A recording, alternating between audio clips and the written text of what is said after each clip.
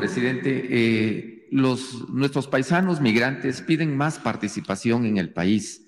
La otra ocasión tuve la oportunidad de plantearle una situación que ellos están caminando, que es el estado número 33, que ojalá se pueda hacer realidad, que sería el, el primer país en el mundo que tuviera un estado virtual con migrantes. Pero aquí va mi, aquí va mi pregunta o mi planteamiento, es que los migrantes quieren contribuir a veces al SAT, pero no las embajadas o los consulados no les dan este trámite para el SAT. Eso parece una situación de, eh, irrelevante, pero para ellos venir a hacer una escritura a México significa que deben de estar inscritos en el SAT además de, servicios del registro civil, entre otras cosas que pudieran tener las embajadas y los consulados ahí al otro lado de la frontera, principalmente en Estados Unidos, pero también se da en Europa y en otros países del mundo. Sí, tenemos que eh, seguir atendiendo a nuestros paisanos. Es un compromiso con ellos. Desde el inicio del gobierno, desde antes, hablé de que los consulados se iban a convertir en una especie de procuradurías para la defensa del migrante. Y eso lo hemos cumplido. Porque desde que estamos no hay racias,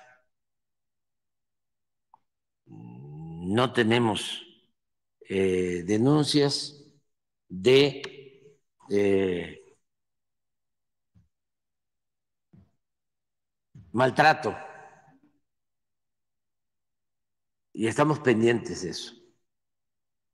Y lo vamos a seguir estando. Antes había más acoso, racias de nuestros paisanos migrantes en Estados Unidos. Ahora no. Se lo agradecemos mucho a los gobiernos tanto el expresidente Trump como ahora del presidente Biden, y también a los gobiernos estatales. Eh, hay estados de la Unión Americana como California, es ejemplar. Eh, es en efecto un santuario de migrantes y nosotros lo reconocemos mucho. Hay otros estados más hostiles, no la población, sino los gobiernos que toman medidas contra migrantes. Entonces sí estamos pendientes. Se están abriendo ya otros consulados, eran 50, ya vamos a tener el 53, número 53 de los consulados en Estados Unidos y la secretaria de Relaciones Exteriores, Alicia Bárcena, tiene un plan con este propósito de seguir fortaleciendo los consulados y ayudando a nuestros paisanos. Eh, y vamos a, comentarle, seguramente se va Sí, se va a enterar esto del SAT em, y el que sigan teniendo facilidades en el envío de sus remesas, que no paguen tantas comisiones, eh, que les rinda más eh, su dinero, lo que envían a los familiares. En eso estamos. En eso estamos. Ya la financiera para el bienestar ya está entregando tarjetas con ese propósito.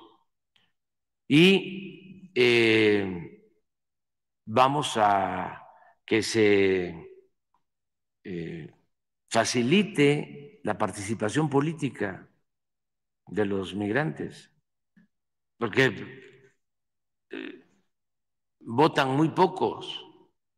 Es un porcentaje limitado porque no se dan facilidades. Ahora que me reuní con los consejeros del INE, fue lo que les traté, una de las cosas que me importa. Y les hablaba yo de que se les diera la facilidad de poder votar de manera eh, electrónica, con el teléfono, mediante el Internet, con una plataforma que pudieran hacerlo este, en secreto, sin tener que estar haciendo tantos trámites, a lo mejor con eh, datos básicos. Y me dijeron los del INE que estaban buscando hacer eso, aunque eh, hay pues requisitos que se han establecido y que deben de quitarse, facilitar, simplificar todo lo relacionado con la participación política electoral, para que ellos participen. ¿Cómo no van a participar? Estamos hablando de... Pues sí, yo creo, porque eh, oficialmente se habla de 40, 40 millones. Yo les comentaba en una ocasión que cuando vino el presidente Biden, eh, que lo fue a esperar al aeropuerto Felipe Ángeles, en el trayecto, en la plática, lo primero que me dijo es que de cada 100 eh, estudiantes de nivel básico en Estados Unidos, 24 hablan español. Y la mayoría mexicanos. Ellos están muy conscientes de eso. Entonces nosotros tenemos que eh, atender a nuestros paisanos. Y sí, tomamos en cuenta esto y vamos a hablar con el secretario de Hacienda, con el director del SAT y sobre todo la secretaria de Relaciones Exteriores. Muy bien. No voy a poder, pero lo recomiendo mucho. ¿eh? Este, no se la vayan a perder. Es único. Es eh, de las fiestas tradicionales mm, más auténticas, con más arte, de más autenticidad, sí, esplendor. Es extraordinaria la Guelaguetza. Entonces, este, pues no hay que dejar de ir a Oaxaca.